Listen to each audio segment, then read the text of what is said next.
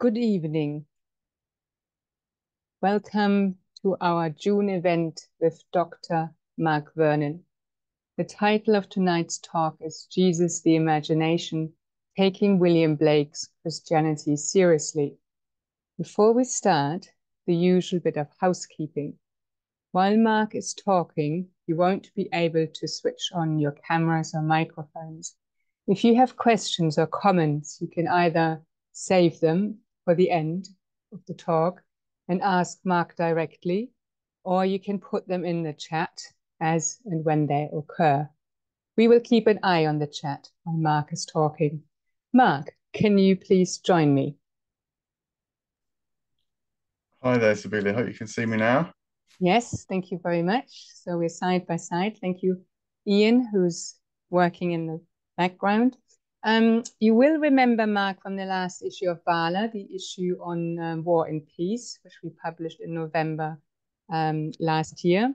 I remember reading Mark's piece shortly after he submitted it um, to us. And almost immediately, I remember I thought I must get in touch and ask him if he would do a talk for us, because there was so much more that I wanted to know. And he said yes.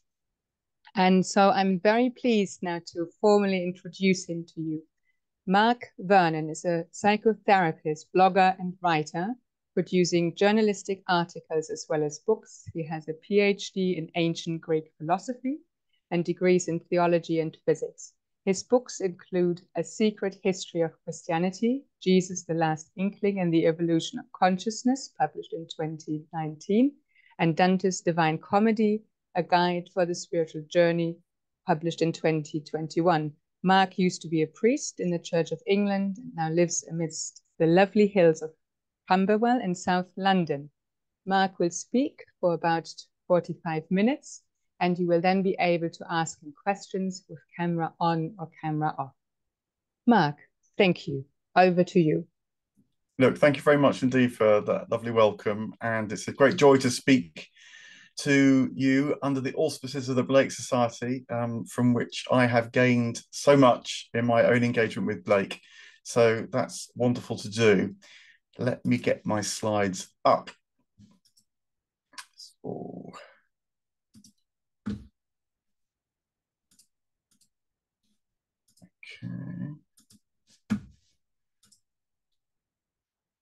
So I'm hoping now you can see the famous portrait that's in the National Portrait Gallery of William Blake to get us going. Taking Blake's Christianity seriously, it's a slightly strange thing to say in a way, because at one level, Blake is clearly Christian. It's even quite trivial to say so.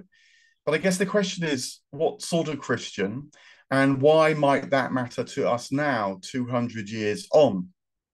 And I hope to make the case that it does matter to us. And moreover, his kind of Christianity might actually be appealing now, given all that's happened, particularly religiously in the last 200 years.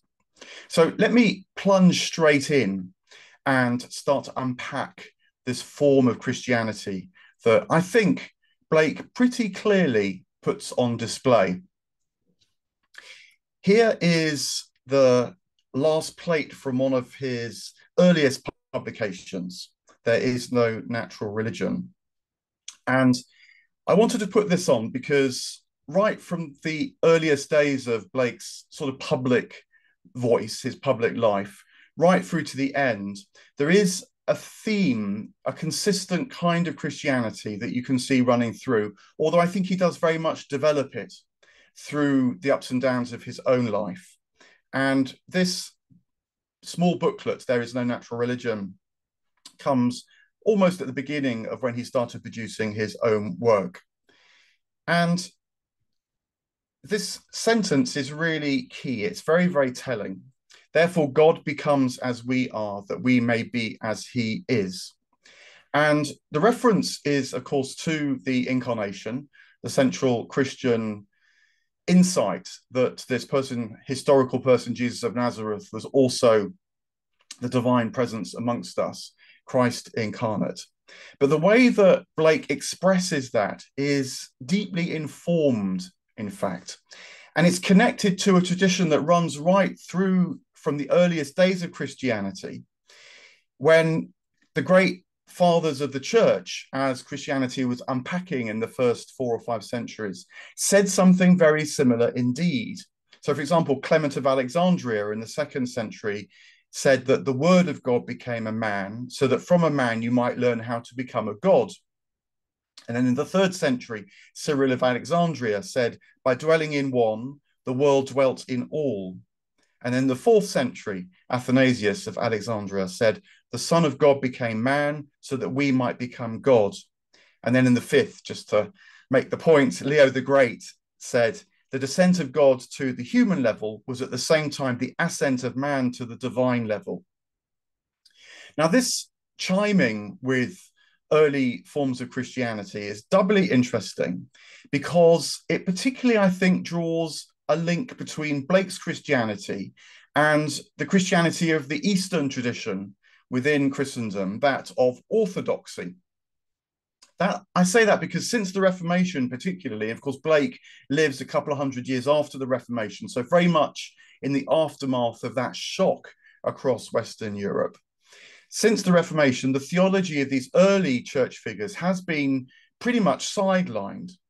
And what happens is instead of emphasizing the transfiguration and resurrection side of the incarnation, therefore God becomes as we are, that we might become as he is, the crucifixion and the separation of humanity from God came to be emphasized. And so the reformers, on the whole, tended to focus on a kind of salvation that emphasized an infinite abyss that had opened up between humanity and God.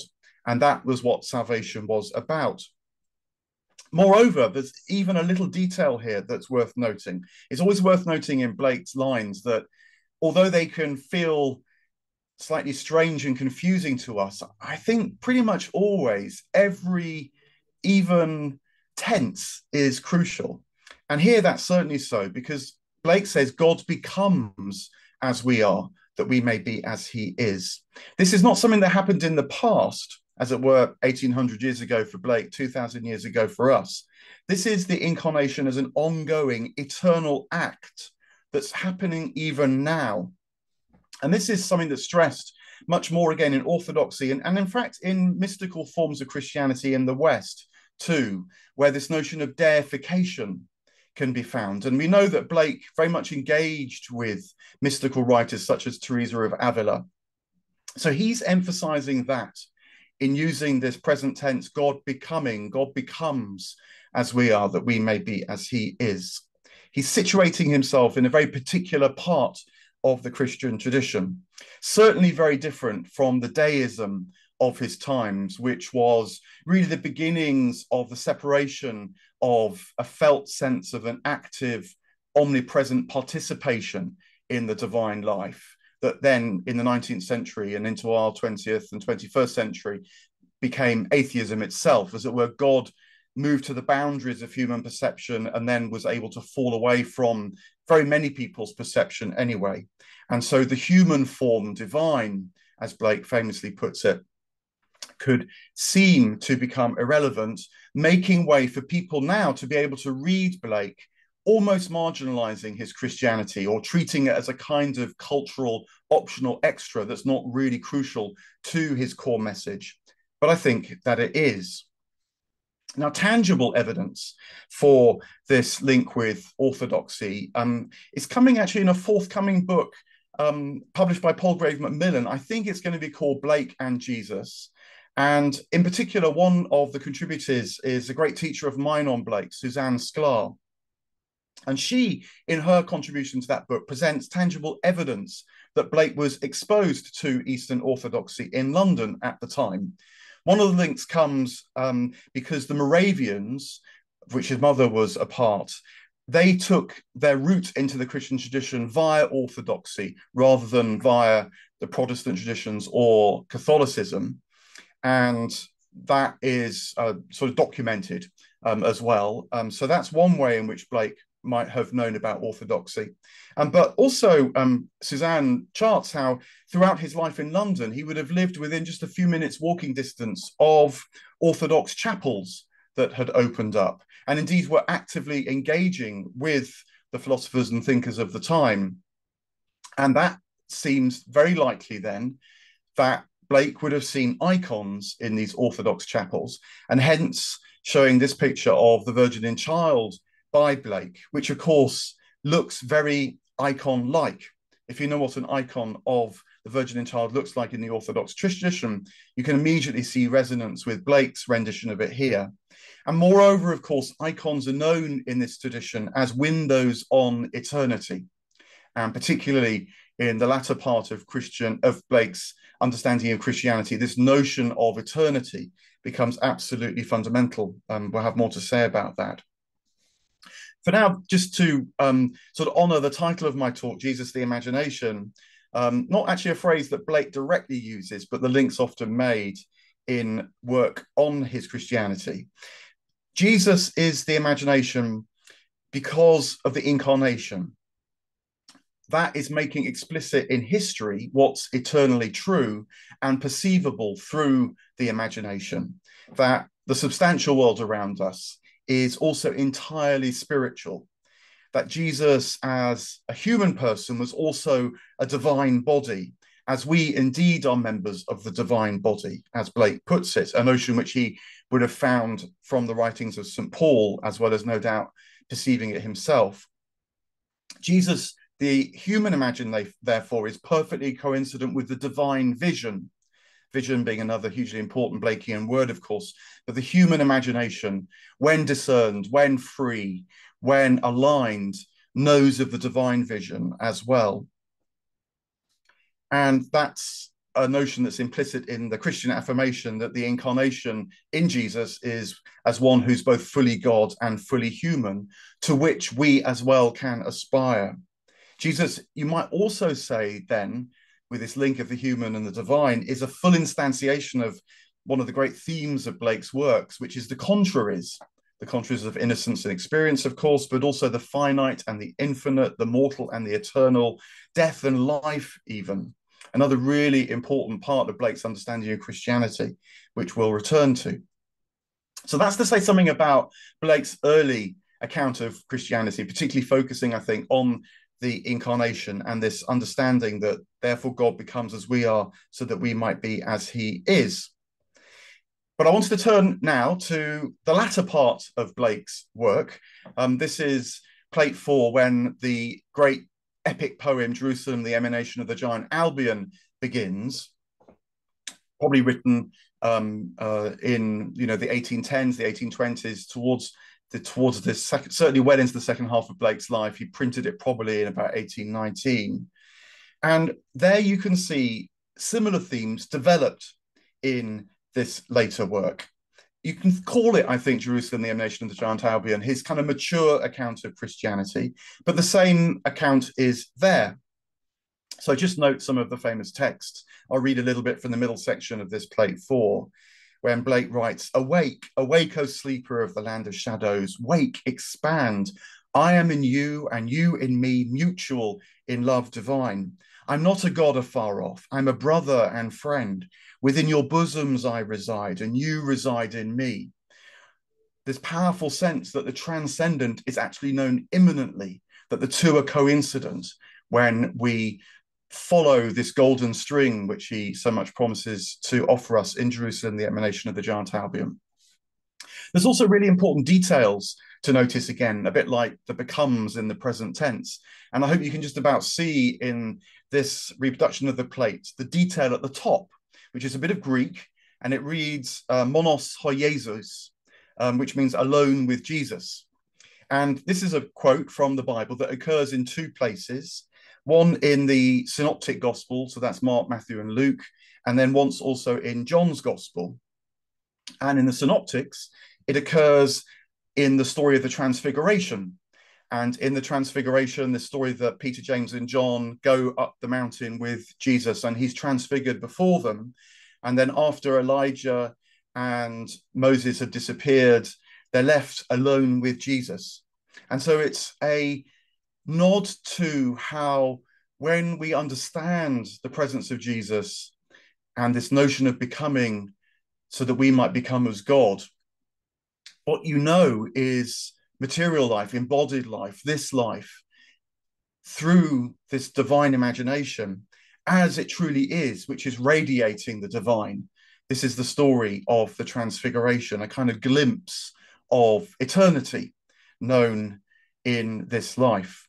So, Monos Jesus is a reference partly to the Transfiguration, giving you a sense of Blake's understanding of these things.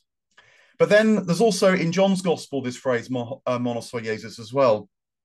And this is, comes in a different story. It's the story which only appears in John's Gospel of the woman caught in adultery.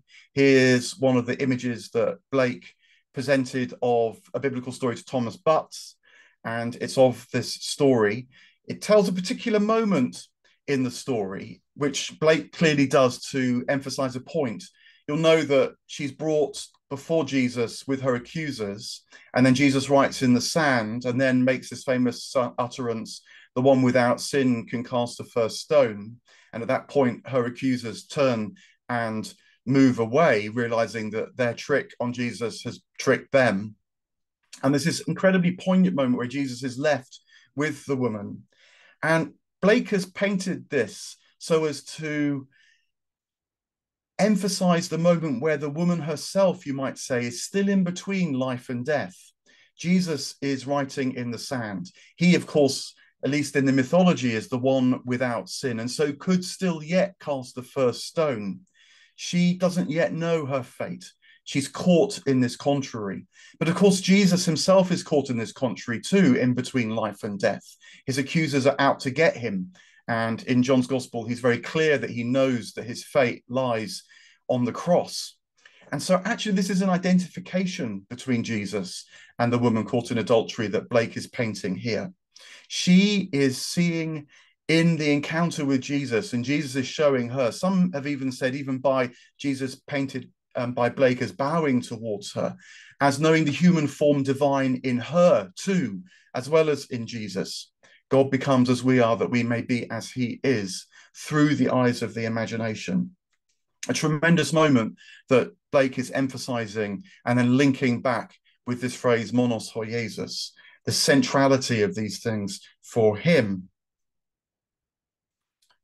Back to Jerusalem and plate four. Jesus, you might say, pervades throughout the whole poem. Um, throughout, there's this spirit of the continual forgiveness of sins, as Blake puts it, that keeps returning like a kind of pulse through all the shenanigans and the ups and downs of Los in his spectre, of Vala and Jerusalem, and so on, of Albion falling and despairing once again. Um, but he's also present in the sense of the Saviour's kingdom, as Blake calls it, or the divine body is present, but also in particular moments as well. And the divine Saviour appears several times throughout the poem at certain low mo- moments, often Albion's low moments, um, but also at Jerusalem's low moments as well. Jerusalem is the divine aspect, you might say, of Albion, the hero really of the poem, hence Jerusalem, the emanation of the giant Albion. And she constantly tries to revive Albion's spirit, to revive his eternal perception, and repeatedly fails to do so. And so enters into the kind of fallen state herself, which of course is what Jesus does at the moment of the incarnation. But there's a section when Jesus, the divine Savior, talks with Jerusalem. And I wanted to emphasize that now. Um, Jesus, in this other image, not from the great poem, of course, but one of the um, illustrations to the night thoughts, um, emphasizing the wounds of Jesus, and so entering into eternal death. Jesus comforts Jerusalem in Jerusalem, the nation of John Albion, and says these things when Jerusalem starts to despair. Here's the section. Um, but Jerusalem faintly saw him closed in the dungeons of Babylon. Her form was held by Beulah's daughters, but all within unseen. She sat at the mills, her hair unbound, her feet naked. Cut with the flints, her tears run down, her reason grows like the wheel of hand incessant turning day and night without rest. Insane, she raves upon the wind's horse, inarticulate.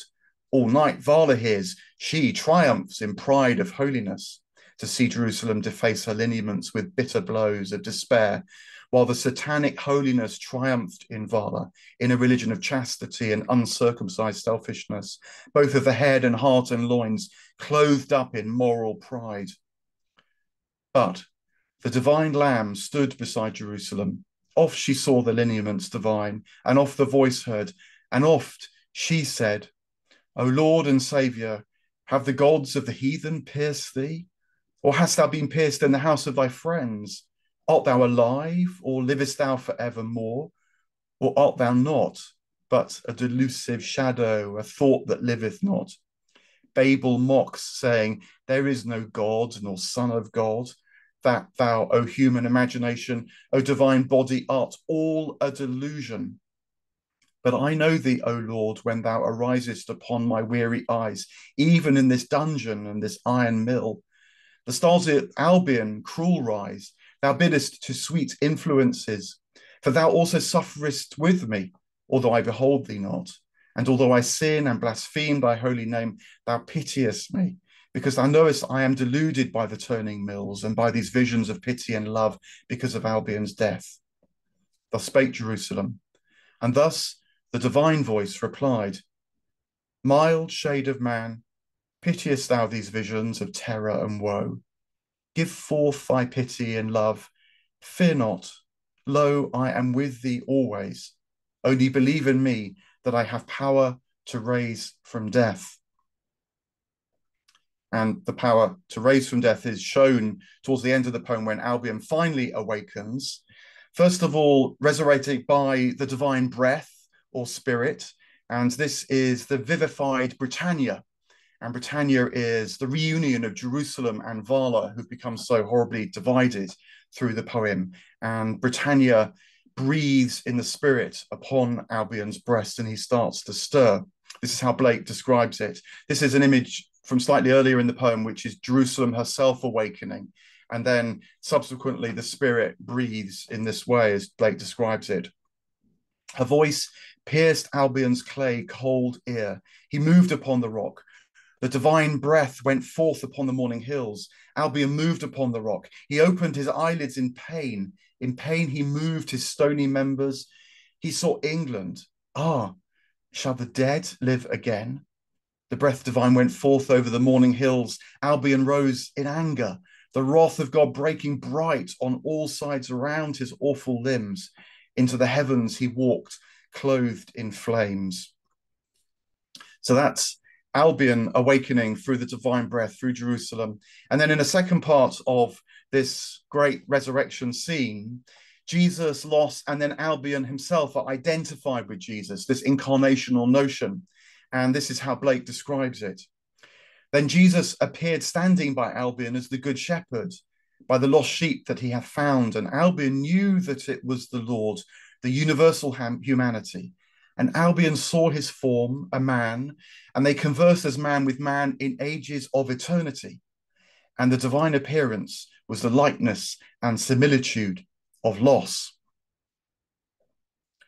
So, this is all to say that there's a mystical Christianity deeply informing Blake's Christianity, and especially, I think, this notion of deification focused on the identification with the figure of Jesus, who is this timeless, through the imagination, and by timeless I mean constant and continual in time, recognition of the human form divine.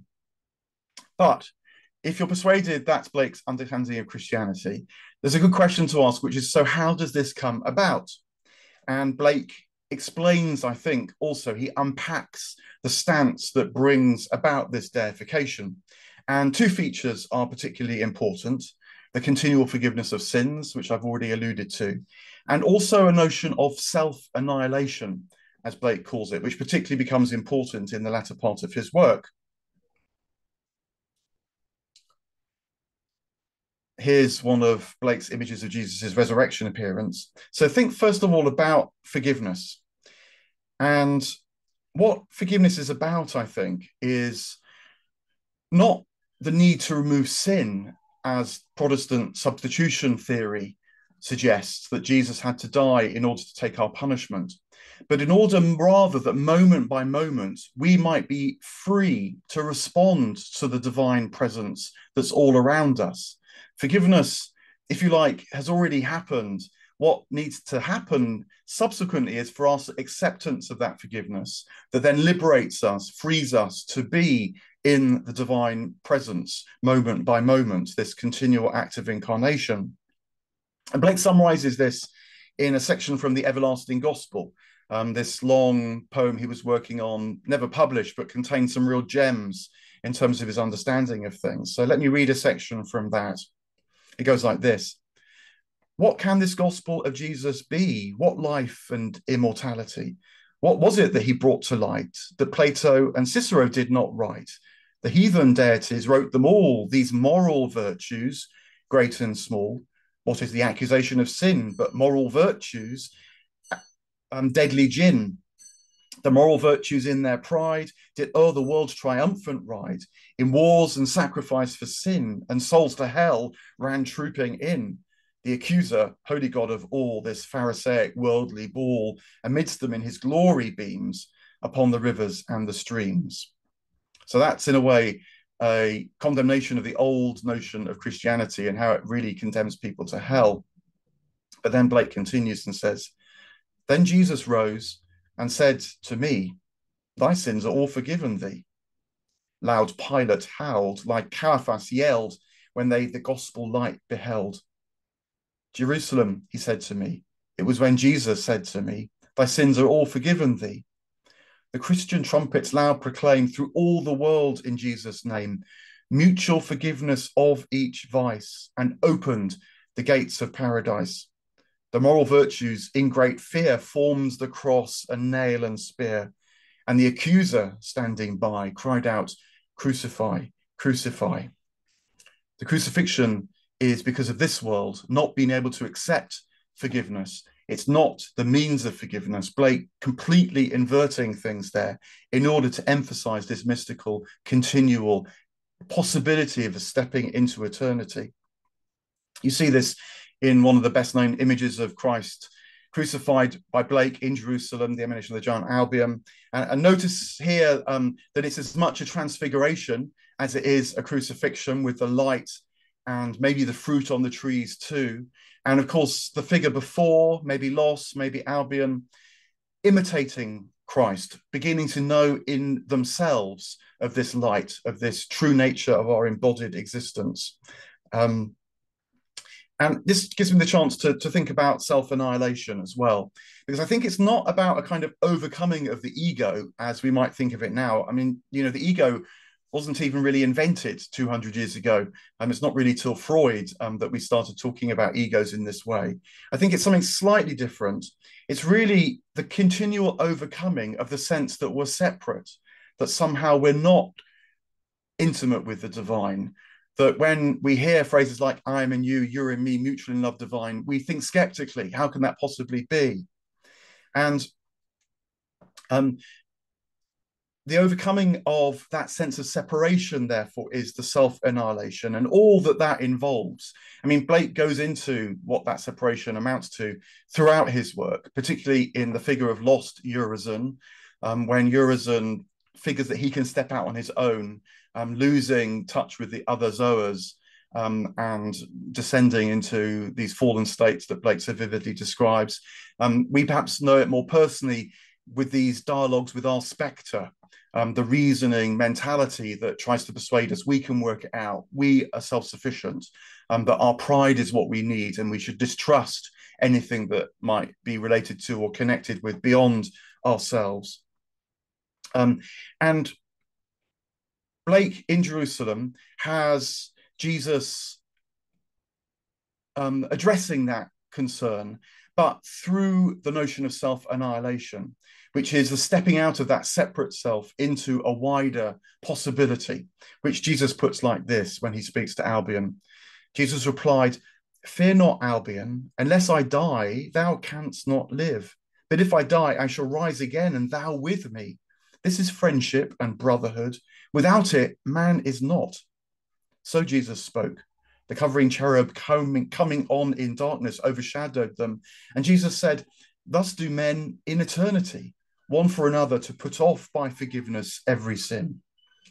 Albion replied, Cannot man exist without mysterious offering of self for another? Is this friendship and brotherhood? I see thee in the likeness and similitude of Los, my friend. Jesus said, Wouldst thou love one who never died for thee, or ever die for one who had not died for thee? And if God dieth not for man and giveth not himself eternally for man, man could not exist. For man is love, as God is love. So self annihilation, this stepping back into love, which is can feel like a kind of death when you've been trusting the spectre, when the spirit of Urizen has seized the whole culture, and yet actually it's a stepping into more. And I think Blake actually found a lot of his inspiration for this understanding of Christianity, not perhaps just through his connections with the Orthodox and so on, but also in his reading of the Bhagavad Gita. Um, this was translated into English in the 1780s, and Blake was one of the first readers. Um, he painted a portrait of Charles Wilkins, um, the translator here you can see. Um, he also drew images of the Brahmins. And I think in many ways you can spot how details in Blake's work show that he knew the Gita, the name Vala being one of them, a sort of play on the notion of Maya or ignorance and veiling, but also in his understanding of Christianity, because in the Gita, it's very clear that there's a kind of understanding of self annihilation that would appeal to Blake, which is to throw all that you have into what you're doing, but without worrying about the consequences. It's giving what you have to the moment, but letting that moment then become part of a much wider unfolding. And that is what stepping into eternity is about. His, what, his vision is one that can embrace without the need to exclude other traditions as well, you might note. This is a kind of understanding of Christianity that's deeply commodious and understands that the human imagination, the divine vision, is operative throughout the world. How could it be otherwise if you believe in a monotheistic God? And so finding inspiration in the Bhagavad Gita, I think, came quite naturally to Blake. And it'd be lovely to know what his annotations were on his copy, given that he had one. We don't know that. And yet I think you can see these traces and this spirit coming back into his account of Christianity. So look, so something, something about forgiveness and something about self-annihilation. Um, but let me just ask again, you know, why are these elements so crucial? What's going on here? Here you can see a plate from Milton, another one of the longer poems from the second half of Blake's life. Um, there's this figure approaching Urizen with his tablets of stone, and Blake's even drawn it so that the foot cuts through selfhood quite deliberately in the design. And then you can see the delight in eternity with uh, the, the figures there, the celestial beings playing their musical instruments. As you'll know from the illustrations to Job, it's very important in Blake that musical instruments are being played not just hanging on trees. And the point is that this selfhood and its denial lets in eternity into the present moment. You know, generation, just the cyclical repeat sense of life, which we otherwise have in generation, can become regeneration. It can become this sort of kairotic cut through chronological time. And so that every moment can become known as something new. Beulah not just being a rest place from the tension of contraries like life and death, can become actually a, a portal or a gateway, a threshold into eternity. As Blake describes it, Beulah is wrapped around eternity. And this then is another way of talking about how the incarnation is continuous. As Blake puts it in Milton in this wonderful, wonderful summary of things, he says, There is a moment in each day that Satan cannot find. And just in, as a side, Satan here is the name for the state that is opaque, that is limited, that doesn't understand the pregnancy of every moment. So there's a moment in every day, in each day, that Satan cannot find, nor can his watch fiends find it, but the industrious find it, this moment, and it multiply. And when it is once found, it renovates every moment of the day if rightly placed. This invitation to understand what's going on here. And it's not just the human form divine that might be become regenerated and multiplied um, and renovated if this moment is rightly placed when the industrious find it. The whole of nature will too. Um, Milton is full of delightful accounts of what it's like to see the natural world, the creatures, even the bugs and the flies and so on, from the perspective of eternity. And in this final image, which shows Ololon in this cruciform figure, she too is identified with Jesus in Milton. But also these plants, which have now taken on the human form as divine as well, they they know of their intelligence and so become part of this incarnational moment as well. This is something which Blake understood because for him the word men or man or of course woman as well doesn't refer primarily to the genders, although it can, it, it's, it's drawn from the same root as mind or mentality. And so it's knowing of the divine logos, the divine intelligence, the divine creativity in all things. And hence he can talk about um, stars and comets and mountains and streams and rivers and plants and so on, all appearing as men. It's code for saying that intelligence awakens them to this incarnation as well. So, look, why should we be bothered by this today? If you buy this vision and think it is tremendous, then why is it still relevant? If you're wary of Blake's Christianity, thinking it was something that belonged to the Georgian period but really can't belong to us now because of all that's happened in between times, Blake addresses that question too. And I wanted to take you back to this early publication, There is No Natural Religion, to begin to tease at least some of that now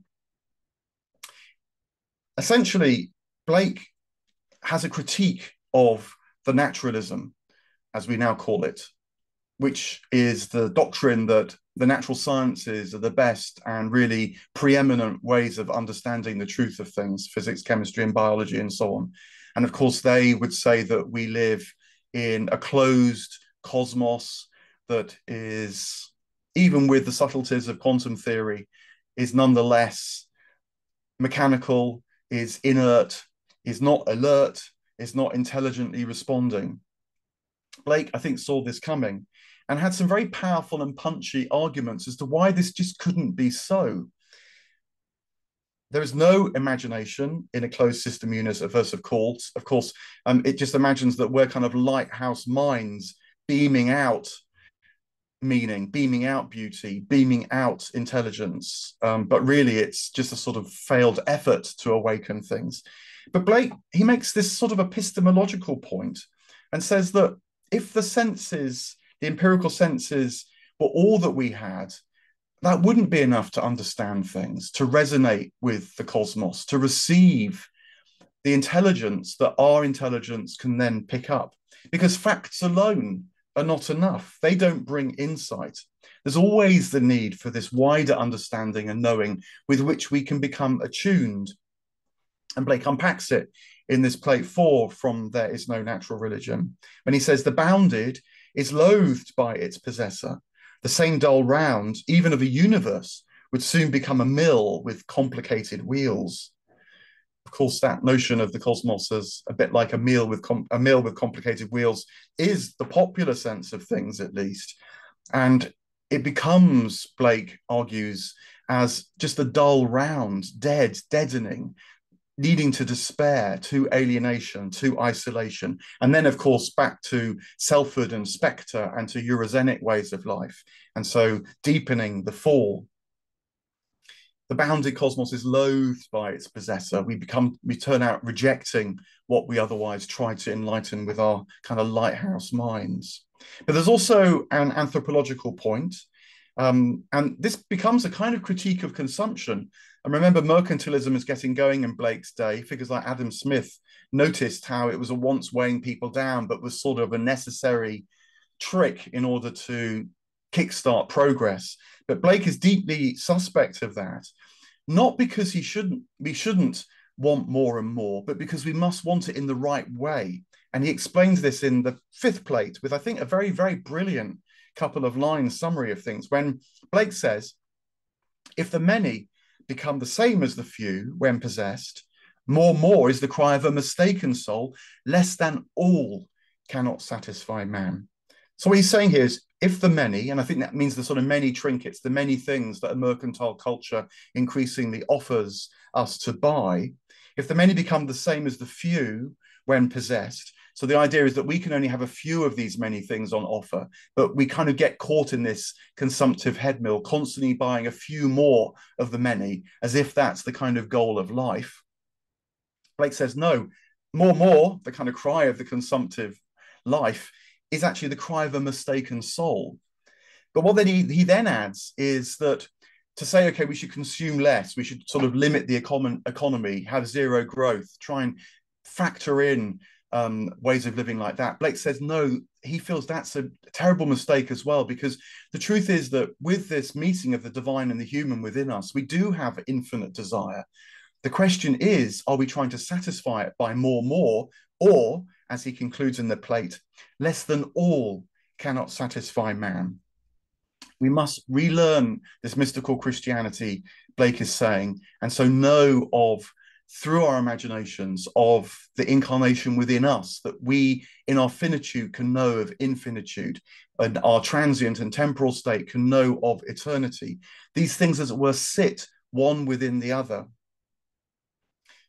So you might summarize by that by saying that humanity without transcendence, without an immanent experience sense of that notion, without the imagination not just as something that comes out of us, but rather that floods into us, with which we can then respond, we become spectrous, we become Urizenic. And it's, you know, many of the problems which we did today, which is why this vision of Blake's is not just one for 200 years ago, but is so pressing now, I think. And this is what happens when we forget this immanent divinity within us. Here's the famous image of Los conversing with the spectre at the beginning of Jerusalem, the emanation of the giant Albion, um, the spectre trying to persuade Los that together they can work it out. But what it really leads to is this, which Blake describes at the beginning of the great poem when he says, But the perturbed man away turns down the valleys dark, saying, We are not one, we are many, thou most simulative phantom of the overheated brain, shadow of immortality seeking to keep my soul a victim to thy love, which binds man, the enemy of man, into deceitful friendships. Jerusalem is not. Her daughters are indefinite. By demonstration, man alone can live, and not by faith. My mountains are my own, and I will keep them to myself. The Malvern and the Cheviot, the Wolds, Plinlimmon and Snowdon are mine. Here will I build my laws of moral virtue. Humanity shall be no more, but war and princedom and victory. Like routinely came to stress the wastes of moral law, this kind of substitute for a living, vital experience of the divine, turning it into a kind of code, which is what deism did and which cultural Christianity now broadly does. And for Blake, that means that humanity shall be no more. Removing this lived experience of the divine and Jesus, the imagination, is anti humanistic. It's not humanism as we often refer to it now. It's precisely the opposite. And what it leads to is war, princedom, and the quest for victory, possessiveness. Um, by demonstration alone shall man live. And, and this extraordinarily um, prescient um, remark, um, phantom of an overheated brain. And of course, now when you read about religion, you're barely two pages away from some kind of neuroscan saying precisely that. There's other reasons why um, this divine experience is needed. And it's not just for our own humanity, but I think is for our relationship with the natural world. I touched on it when you saw that earlier image from the end of Milton with Ololon identified with Jesus, and then also the plant world itself identified with the divine intelligence. And this is about understanding our relationship to the natural world, not just by stewardship or guardianship, which is the sort of trend now, you might say, because the problem with this is that this is a kind of moral understanding of the crisis, an instantiation of virtues, which just actually leads to guilt. Um, because we constantly fail if moral standards are what we're judging ourselves by. And then, of course, blame kicks in, all sorts of squabbles and so on. It divides humanity the ways of the moral law. Now, what Blake's saying is that we need a participative, a communing with the natural world, an understanding that we have a shared ontology. And that being, that ontology, is shared in this triangular way. Our intelligence, the different intelligences of the many around us are one because there are as many manifestations of the divine intelligence. There are as many reflections and echoes of the divine life that is within us and all things, this transcendence that's immanent. That is what we need to understand, Blakewood said. And without that comes split, comes division, comes burdensome insistences on moral demands and so on, the kind of guilt that becomes Urizenic and takes us away from the divine. We need a shared identification with God without a loss of, of, of diversity, though, without a loss of difference. Um, as as Coleridge put it, there can be um, this different. There can be um, distinction without difference. So we can know of the many things when we realize that they're all as many variant sharings in the one thing. That's another reason why this triangulation is so necessary. Blake celebrates it in the famous poem which he wrote to Thomas Butts when they moved for that short period down to Felpham. Um, I'll, I'll, read it out now.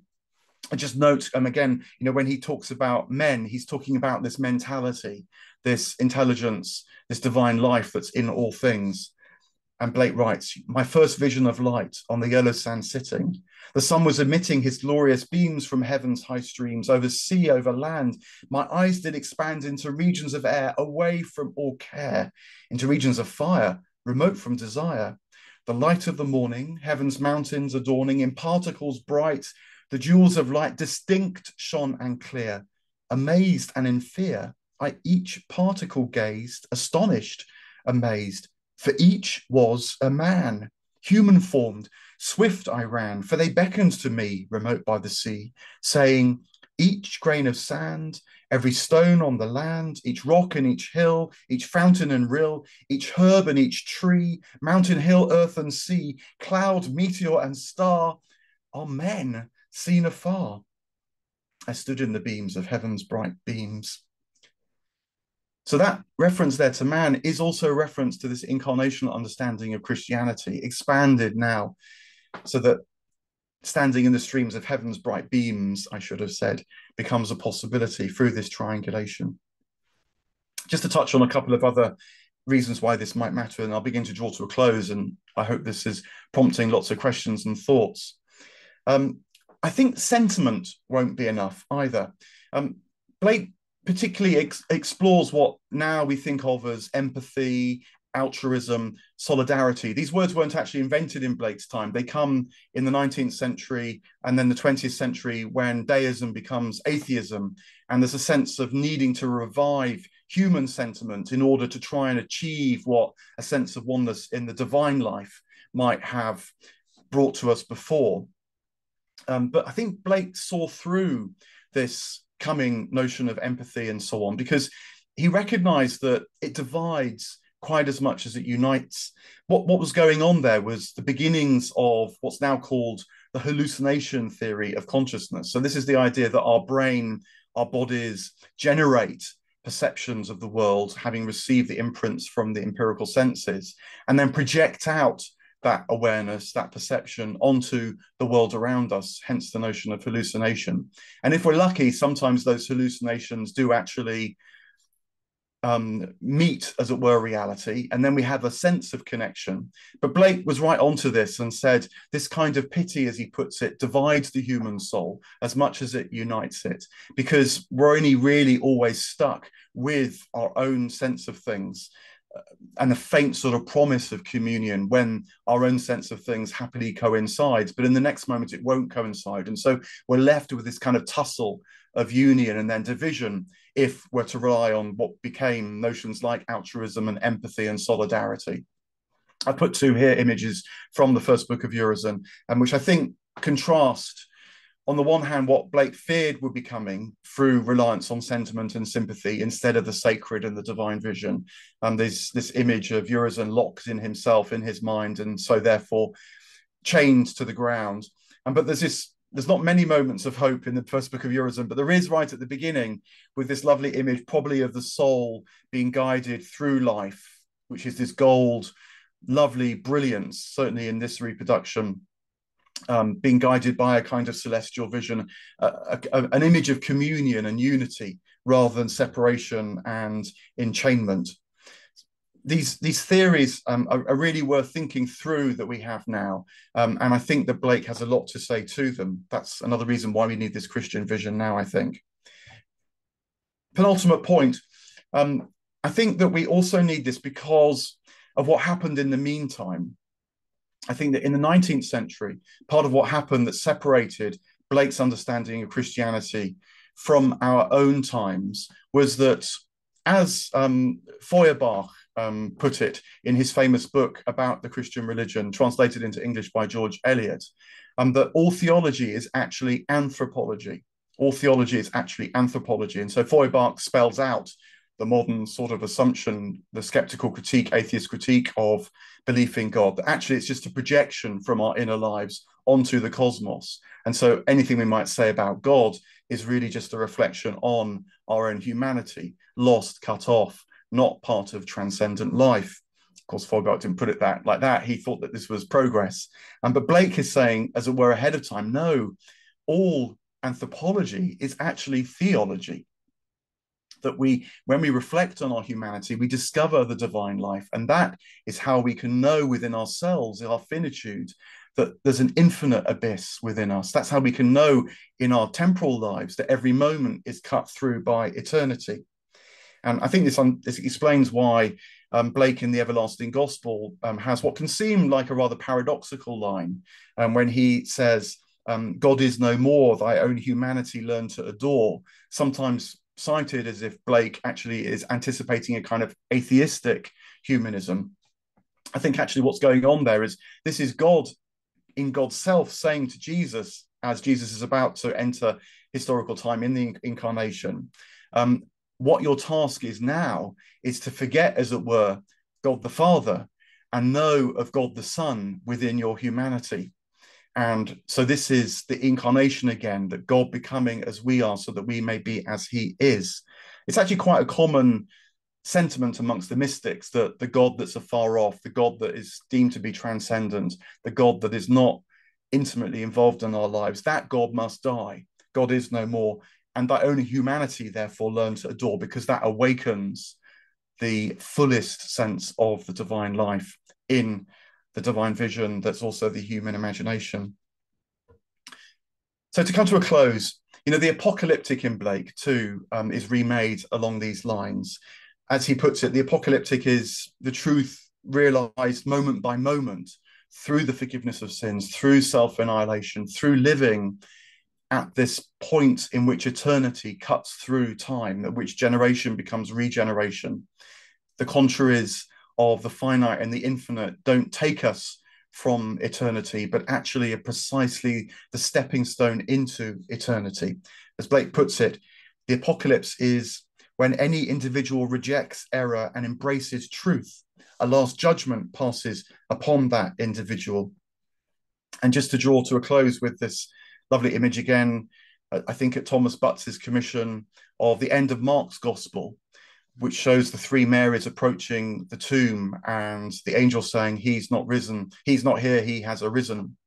And the three Marys, as the gospel in its original form, end afraid. I think Blake would have loved this because this is precisely the moment of possibility, the moment when it's possible to step into eternal vision, the moment that I think, according to Blake's Christianity, is every moment for us. And he, in his poetry and in his understanding, this deep perception, I think, of the mystical forms of Christianity, making him, to my mind, one of the most important post Reformation mystics in the Western world. That is what he offered his times, and I think still offers for us now, needed even more so, I think you might well say. So, Sibylle, I'll end there and I hope we can have a rich discussion.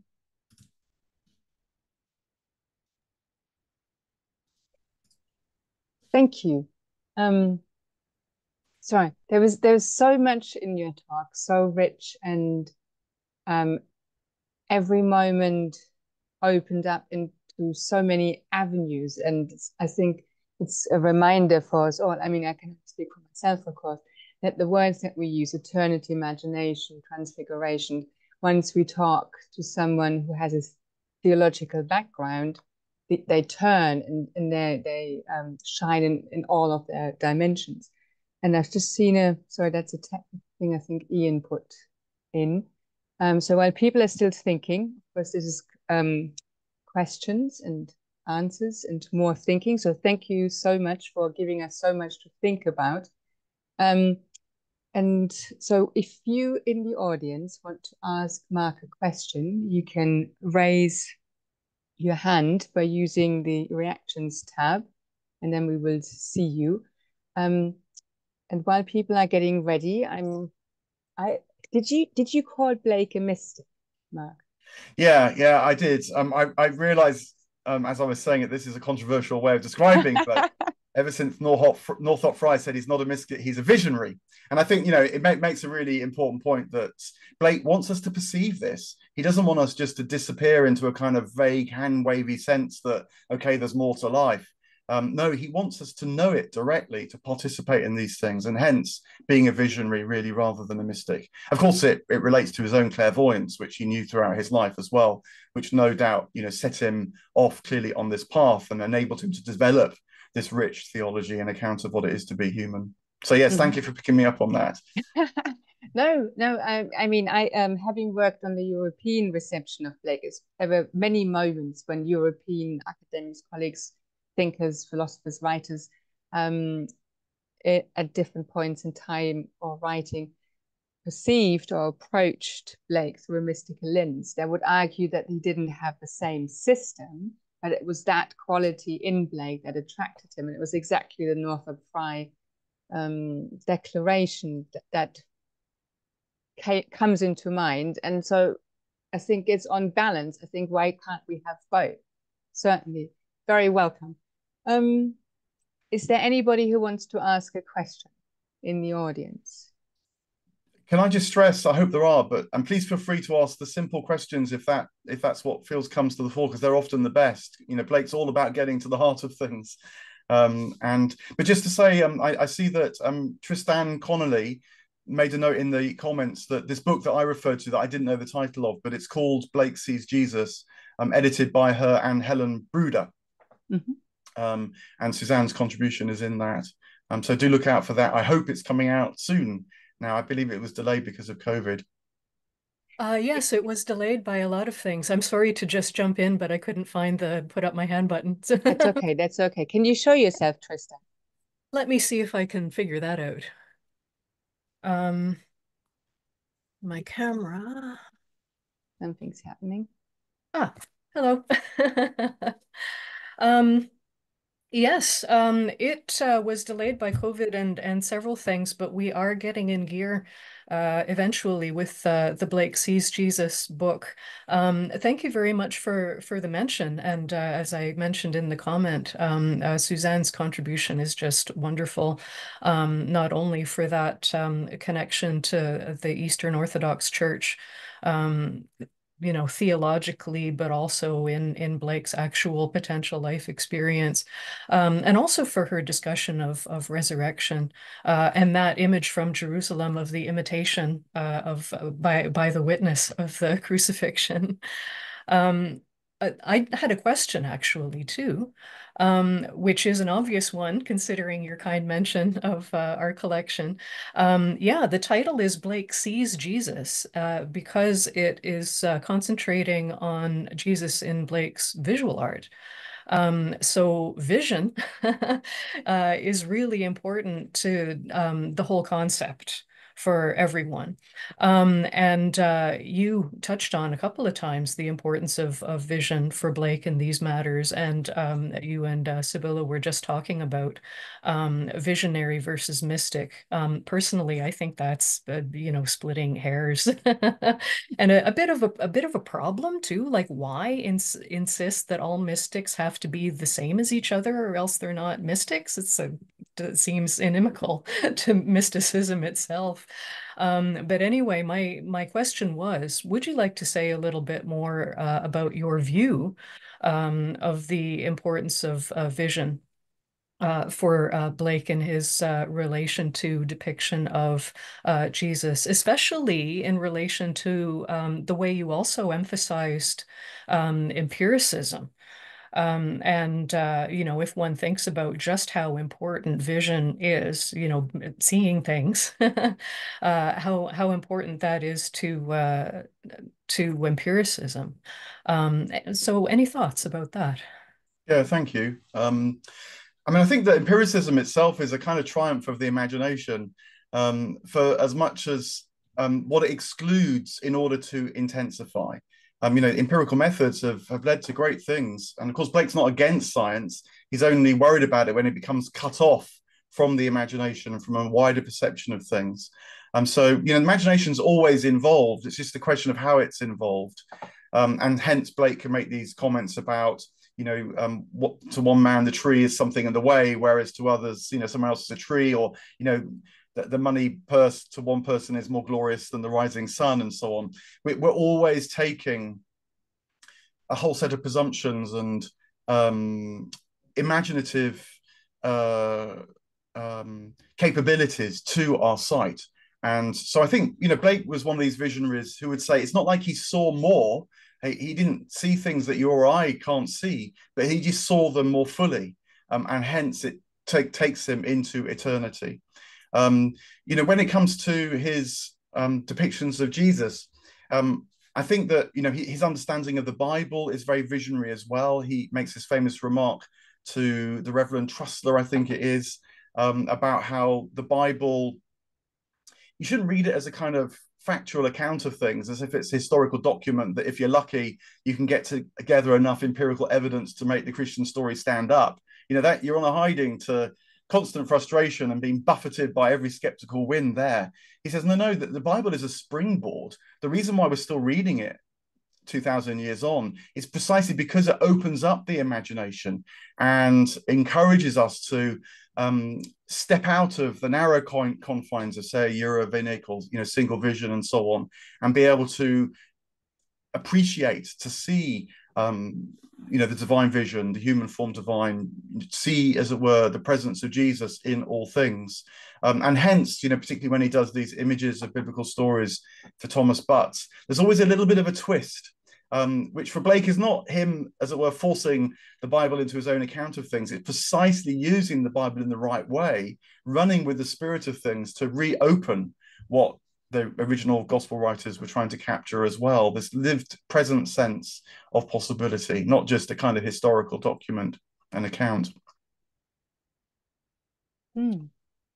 thank you very much mark. Um, thank you Tristanne for your question. I can see that katie katie carr has raised her hand. Can you yeah, ask your question? Yeah firstly i'd like to say thank you so much for the most um, enlightening um, discussion and presentation. That was amazing mark um, I, I would like to come back to the comment and uh, quote that you you gave that there um, there is a moment in each day that Satan cannot find.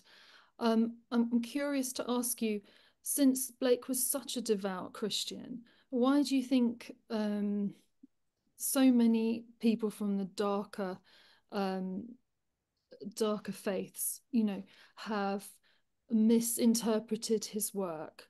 Um, that that that seems to be confusing to me and sorry it's such a basic question but i just wanted to ask you why you think these darker energies um, revolve around his work if that makes any sense. Yeah no thank you. Um, i mean blake kind of tells us um, it's because um, we we live we now live in a time that's sort of fully manifested but that he saw coming um, when by demonstration alone shall you live and not by faith. Um, that um, immortality is a shadow, um, that by um, anything that we could call the imagination is really just a phantasm of an overheated brain. Um, he saw these scientific explanations for things coming. I, I, think you can you can't really overemphasize the presence of John Locke in Blake's centuries, and um, you know, that's there's a reason why Blake, uh, Bacon, Newton, and Locke are um, are Blake's triumvirate, as you say, of sort of bad energies. Um, I think he's a bit unfair on Bacon. He's almost certainly rather unfair on Newton, the man, but probably not on John Locke, actually. Um, I think he probably got John Locke about right because of Locke's sense that, you know, we're born as tabula rasas, um, these kind of monads, if you like, that then receive sense impressions. We have a bit of imagination, according to Locke, but it's just to sort of jiggle things around inside us to make some kind of coherent sense of, of, of things. But it's not it's not because of some kind of resonance or harmony with the wider divine life from whence we came. Nothing like that in John Locke. Um, and similarly, the sort of stress, therefore, on God becoming a kind of moral lawgiver, and so the wastes of moral law um, that you know might seem a good idea. Cultural Christianity, according to some, is reviving now because Western civilization needs this moral underpinning, and materialism won't do it, and we're sort of hemmed in on every side. Um, according to some, um, cultural Christianity in that form will be equally disastrous. Blake would tell us because it just leads to more division it's not rooted in this sense of participation. Um, yeah, so I think that that same spirit, of course, then infects the way that people read Blake. Um, and um, you know, if when Blake's read in the universities, for example, um, outside of theology departments, with the best will in the world, it's very hard to talk about the spirit and matters religious, let alone mystical and visionary. Um, you know, the, the constant pressure is to force that approach through the sieve of i don't know sociology or some kind of reading about power or whatever the, the point I, I, don't want to just do those down though because they have insights you know that's brought a lot to the reading of blake as well. But it seems to be often at the cost of what you're emphasizing and which i agree with you on that. Um sort of sadly the loss of the heart of it.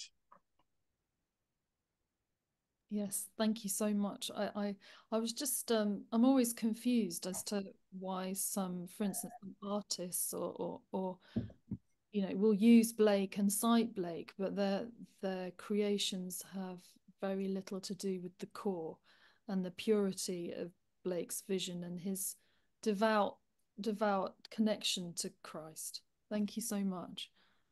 I mean, perhaps I should just also add that you know Christianity is a complicated thing. I've already sort of tried to identify which strand Blake, I think, um, himself would have identified with, and there's much that Christendom, particularly, you know, Blake also lived through the period of expanding empire and so on.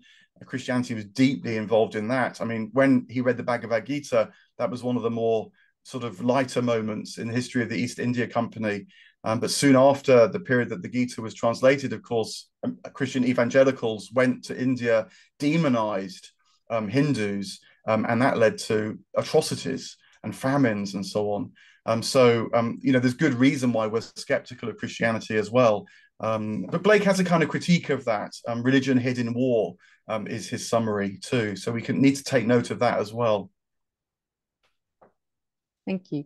Thank you, Katie. And um, I can see you, John, but there's two more questions in the chat. So I'll go to the questions in the chat first, if I may. So there is a question by Joanne Newbury. Joanne, you're welcome to come and ask your question. I can read it. The question is the final plate, he is risen moment, teases with Urizen. Any comments on all right, Joanne, you, will you'll have to appear, I'm afraid, like a vision before us, um, just to say a little bit more, so I can get a sense of, of what you're wondering about there, or, or, or what you what you see in that plate, of course.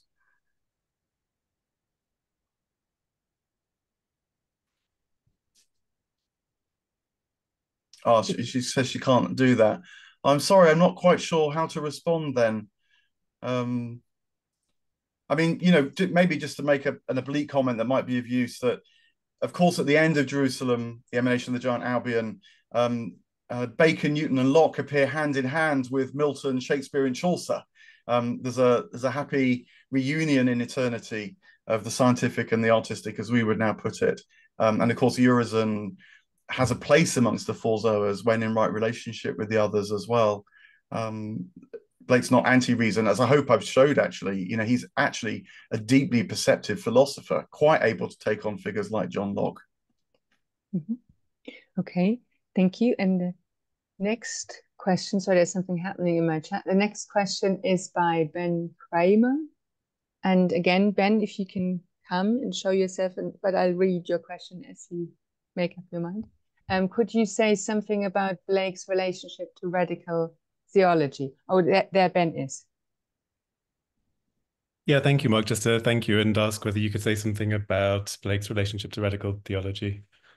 Uh, this kind of question is is it one of those where you actually know quite a lot about this, and perhaps you could illuminate us, or no, it's not. I could I, I couldn't really um, elaborate on the question at all. Really, I'm sort of beginning to get a grasp of what that there might be a distinction between mystical and radical theology. So I was interested to hear you sort of yeah. speak about this. Yeah, well, um, I mean, you know, other people might have a, as good a sense of this as me. I mean, you know, radical refers to returning to the radix, you know, the, the roots. Um, I think that um, Blake's um, mystical Christianity is returning to a, a core strand that goes all the way back over 2,000 years, you know, hence referencing these church fathers and so on at the beginning. Um, now, there is um, a growing interest in Eastern traditions, Orthodox traditions. I mean, Rowan Williams um, the former Archbishop of Canterbury. His newest book, The Passions of the Soul, is essentially based on a figure called Evagrius Ponticus, um, which is a kind of radical Christian mysticism psychology. Um, so there is, I think, um, a resonance with um, what Blake was saying and what maybe is coming to the fore now. Um, I've no doubt that Blake's inspired directly various forms of radical theology as well. But in relation to what I was saying to, tonight, I mean, you know, he, he certainly is a radical. Mm -hmm. um, thank you, thank you, Ben. And uh, Mark, just spotted in the um, in the chat, so there's some response from the literary-minded people. So um, it could be a pun, a counter pun. So arisen, Urizen, and isn't she asking if it's a play on words? So that's thank you to Gareth and Ellen James. Thank you for that. You know that there's a lot said about the word Urizen, your reason, um, Horizon, limiting horizons and so on. But I've not actually heard the link made to Arisen. So that's thank you. That's a new one to me, that, and I like that. So thank you to all three of you. Um, John, John Jobson. Uh, thank you very much, uh, Mark, for that talk. Um, however, my problem is this. Uh, I've been reading Blake and looking uh, at his pictures for perhaps 60 years now. And I know a fair amount at a superficial level. Um, let us say, you know, first year undergraduate level of understanding of Blake. Listening to your talk, I found this is too hard for me to understand because I don't have enough background in the kind of level of knowledge that you obviously have. What I want to know is how can I get from my sort of as you say, first year undergraduate level of understanding of Blake to your you know all, almost you know postgraduate level understanding. I found your talk hard to understand because it was using language in a way that I wasn't used to. Is it? Can you help me with that?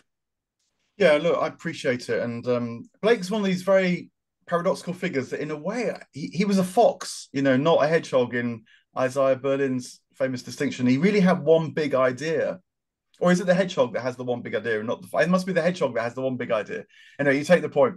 Um, but he unpacks it and unfolds it um, in you know multiple ways. Um, and um, because I think of his his extraordinary eternal imagination, he can see the divine presence the spirit everywhere, and of course when it's fallen as well. So I'm, I'm you know, Sibylle introduced me as living in Camberwell, the lovely hills of Camberwell, um, was how Blake described this part of South London where I live. So um, that can be immensely confusing when it sort of first first hits you. Um, I mean, even maybe 60 years on. Um, but um, I think you know the core idea in Blake is summarized in "There's No Natural Religion." Very simply put, in that short pamphlet, with its climax, um, therefore God becomes as we are, so that we might be as He is. And if you hold those kind of lights in your hand when you're reading Blake and then wonder how what he's presenting to you in an image, in a in a line, in a um, you know a, poem, how that is a facet of these very central ideas, um, then you can never go too far wrong. Um, I mean, he he he he knew that um, the fallen state, the Urizenic state, um, the state of generation and so on, um, Ulro, um, they deeply lead people astray and produce many terrible ills and evils, which he knew in his time, we know in ours. Um, but Blake is one of these figures for whom they're all misguided steps, um, forms of ignorance. You know, Vala who veils, Maya, to reference the Gita again. Um, and so, strangely, the truth and falsehood are, often much, much closer together than we might imagine. Um, these slight twists lead us immensely astray. Um, but this is every moment, you know, that Satan cannot find um, is a moment to return to really quite central and fundamental things that we human beings do have infinite desire. Consumption has kind of capitalized upon that, pun intended. Um, but if we can re educate ourselves um, through this new perception and recognize the divine humanity within us that is um, you know the, the universal father as, as blake also puts it. Um, you know that that's his kind of constant theme really. Um, how do and, i help myself yeah. with re- re-education? Say that again. How do i help myself with that re-education maybe it's about not just learning about blake but learning from blake you know this is the famous distinction that Kath, uh, Kathleen Raine made um, that um, the wrestling we do is partly about learning, you know, who these figures were, the twists and turns, something about Blake's time, something about his own education, and so on. Um, but really, the deeper side of it is learning from Blake, um, letting the poetry and the imagery catalyze something in us, even if it's a yearning, a longing. That's absolutely fundamental. Um, so, um, you know, I think there's something of that, and and and and and a bit like this, you know, there's a moment, there's a moment in every day.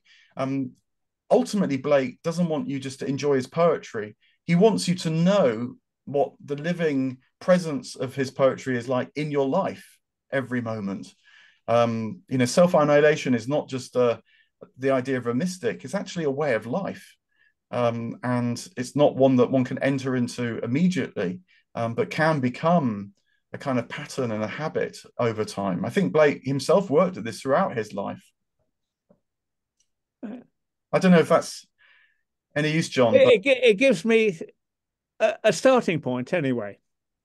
Thank you. Um, thank you, John. And I'm looking at the um, chat.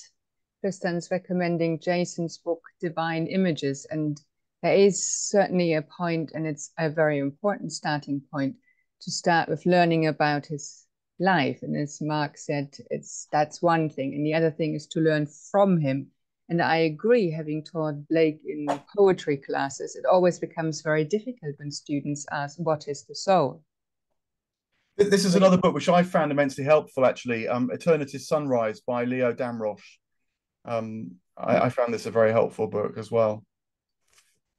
Yeah, thank you for that recommendation. I invite everyone to put these um, recommendations into the chat because um, everyone has a starting point um, where they start from and where they can move to, and also to emphasize what we're doing here in this conversation or at the Blake Society. It's talking, talking about Blake and with each other, and it's the different angles that open up what Blake can be and you use the word Blake's understanding of Christianity to really understand this. Um, this is why we're having this conversation, and maybe there are more questions than answers we can comprehend at this moment in time. So it's an ongoing process. Um, and Blake, um, yeah, Stephen is also endorsing that the Damrosch book. So these are all quite recent books. Um, they're older ones as well. Um, any more questions from the audience? Anything that stood out or you found interesting? Want to talk more about or know more about? Stephen, Stephen, please. Oh.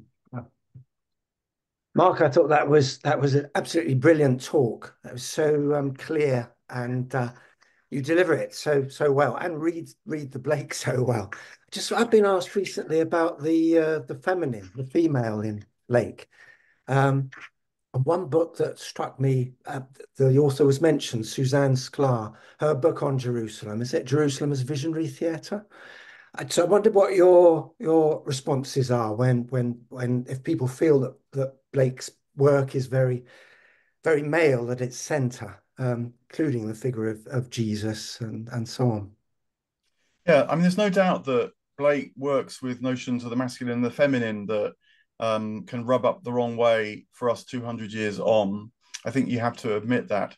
Um, but I think that when you understand again the wider context um, that um, he's driving at, um, it makes sense.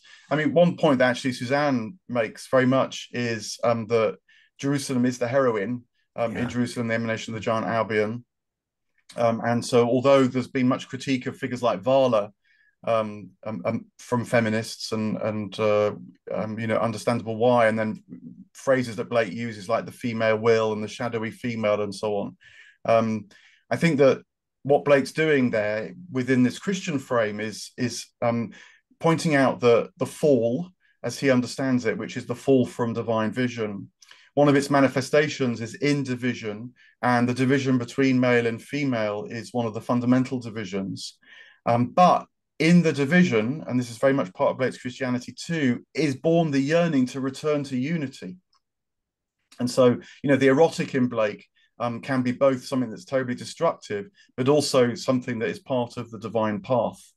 Um, and I think that when you try and um, hold in mind the sometimes it's called the anagogic perspective, you know, the kind of um, the top-down view, if you like, um, then um, Blake's references um, to um, you know the shadowy female and so on. Shadowy also he, he, these words get, get get loaded. We now rather inclined to read it through Jungian eyes, as if shadow is something that we've lost touch with or has fallen from view or sort of comes up to haunt us. Um, but I think if, for Blake, shadow just means that it's a pale reflection of the eternal. In fact, um, you know the whole world is shadowy. Um, he refers to Catherine, his wife, as um, you know my, my shadow stood beside me. Um, and um, so it's always worth just checking in how words have changed meaning even 200 years, um, a bit like Salford.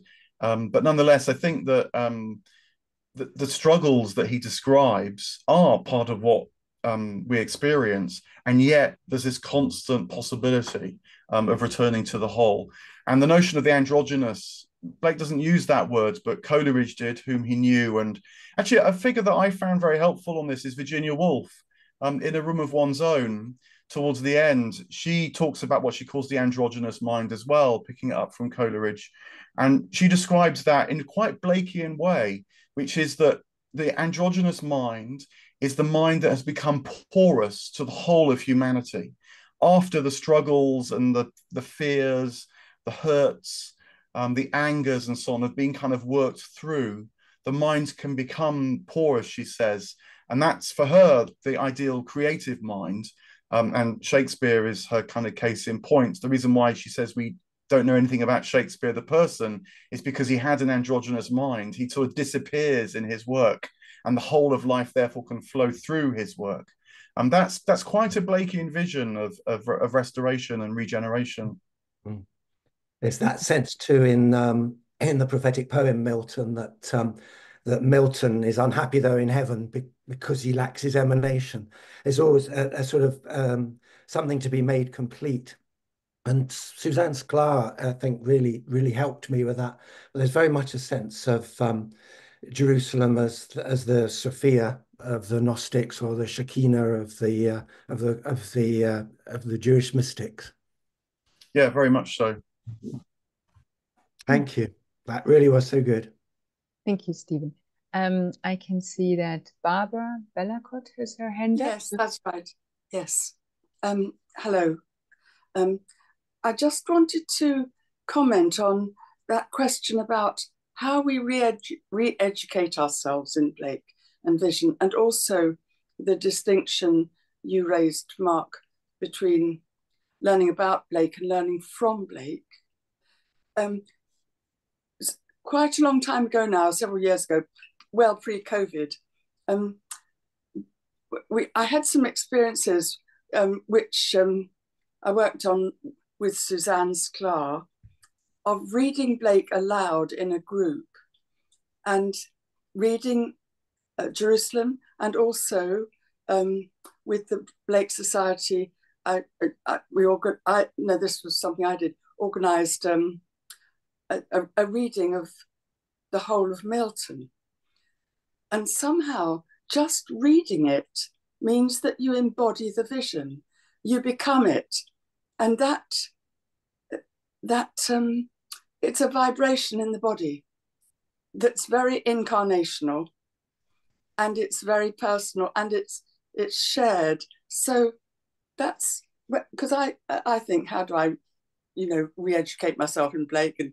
catch catch the vision and experience it i have to experience it through reading it aloud that's one way thank you yeah i i do agree i mean i've just been part of a group which has read through milton um, and it was invaluable. And we had a, a, sort of guide who could help hold our hand a bit um, mm. to start with, which is always useful too. And Susanne um, conducted a group reading the whole of Jerusalem as well. Yeah. Which was, yeah. the other thing I found actually is that it's worth um, if you can if you're in London or you can get to London, visiting the places that Blake lived and walked and so on. And mm. Um, I don't know why that is, but um, to take your, you know, your your complete Blake and go to I don't know, you know, St James's Piccadilly or go up Primrose Hill or um, even um, Fountains Court, you know, on the Strand. Um, what you know, there's a plaque there anyway, and um, and then looking at the Thames and and um, uh, Tyburn as well. You know, the the three trees there on the end of Oxford Street.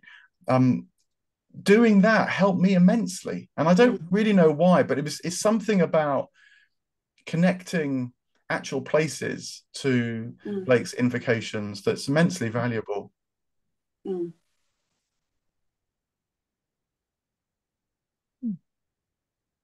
There was a Blake Society member who did uh, walking tours of London and stood at, for instance, Tyburn and declaimed some Blake in the spot uh, with a group of us, and that was quite a long time ago, but it was really good. Yeah. Hmm. Yeah, um, thank you. Um, actually, Stephen has put the name of Henry Elliot. That's uh, right. Henry. Henry, Henry was the person that led us around London, actually declaiming yeah. bits of Blake, which was great. Yeah. Yeah, there, there's an idea of what to do this summer. Thank you. Yes. no, I'm, I'm, I, you know, um, Sibylle mentioned that I'd written this book on Dante, and um, I was in uh, um, uh, um, uh, oh gosh, uh, where Dante's buried, um, um, in Italy. Uh, gosh, it's uh, Ravenna, Ravenna, of course, and um, uh, and and particularly since the 700th anniversary of Dante's death, there's little plaques everywhere in Ravenna, and you can scan and then read a bit of Dante and so on. And I I, I would love to champion something like that here in London some plaques with a scanner that you could then read some Blake and have it explained and so on. I think it'd be a tremendous project. I think we'll talk more about this because of Blake 200 and what we can do. There is so much happening in the in the um, chat. So I'm just going to, I've seen you, Jason, right? Um, Jennifer Jesse has written that this is to John. I'm not sure if John's seen it. And I think it's good for all of us to remember um, what has always worked for me is just to follow Blake's lead at any given time, looking at a particular image. For example, I find myself drawn to something specific about it. I ask myself why and question myself, and then I find myself in conversation with Blake.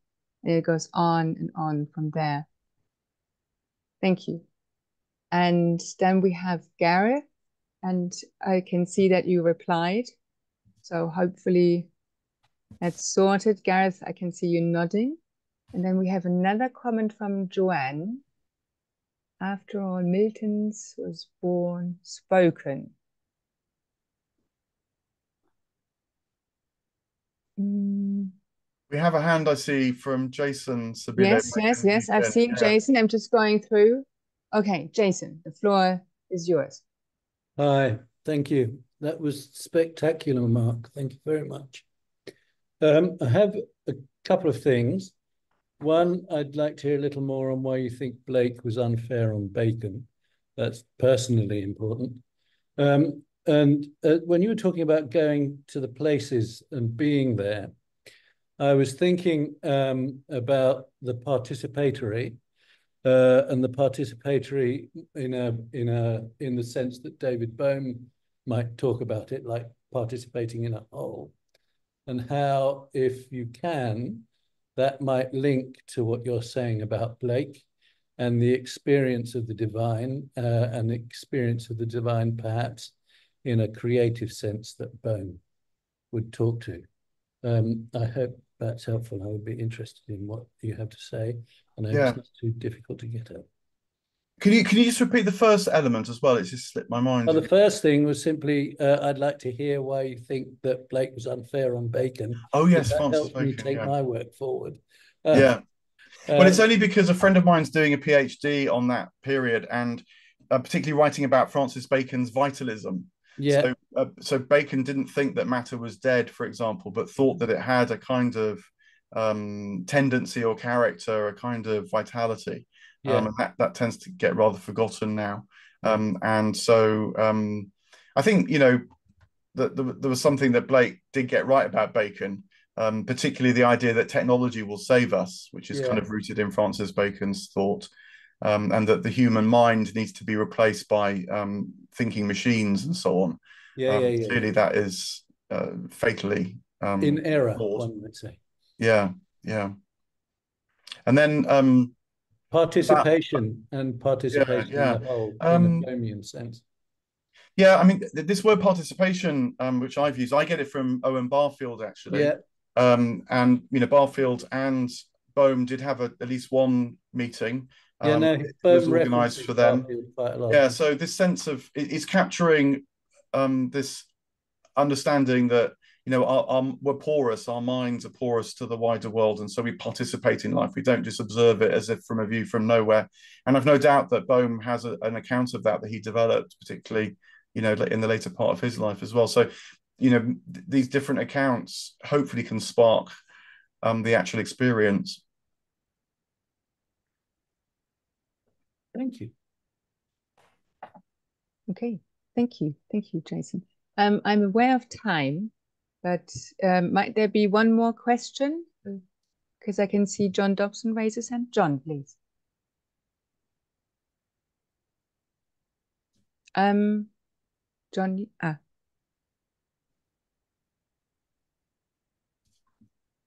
I was very interested in what Mark said um, couple of minutes ago.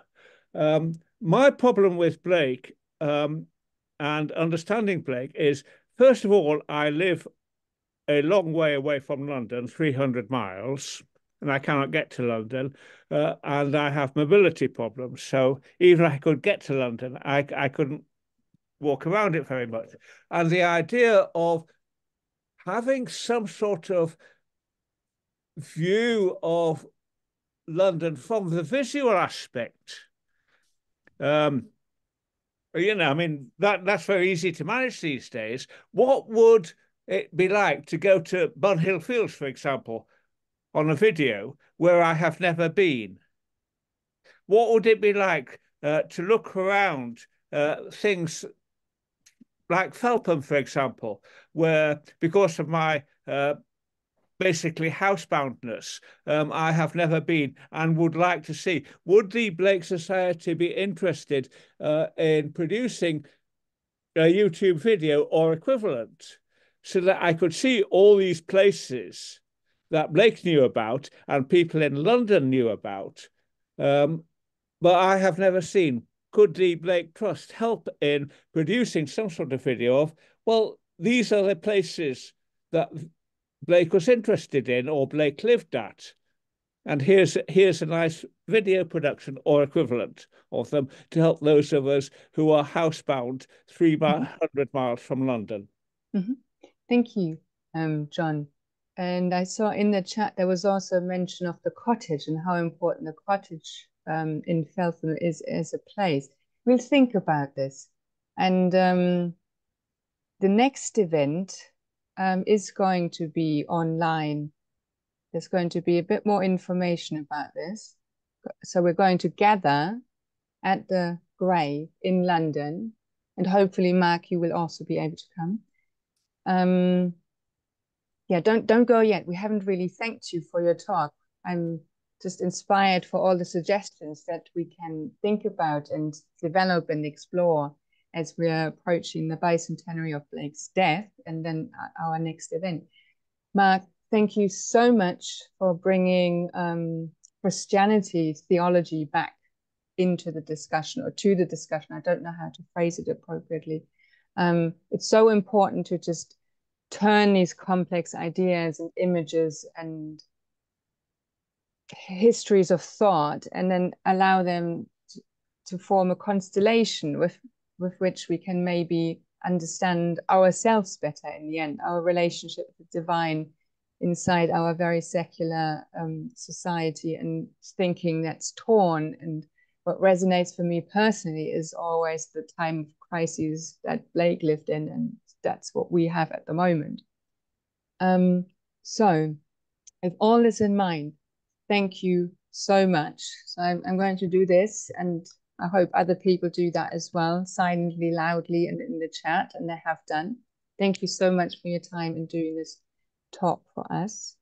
And hopefully we see you all um, on the 11th of August at 11 a.m. at Bunhill Fields.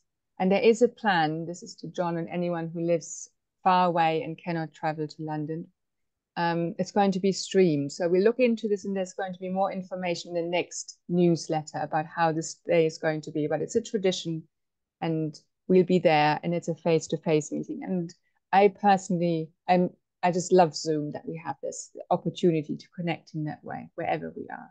So thank you very much and have a good rest of the day wherever you are. And thank you, Mark. Thank you for Thank you very much. Good night.